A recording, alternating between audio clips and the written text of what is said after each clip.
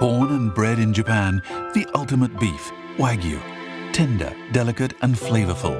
Wagyu cattle are raised by dedicated growers.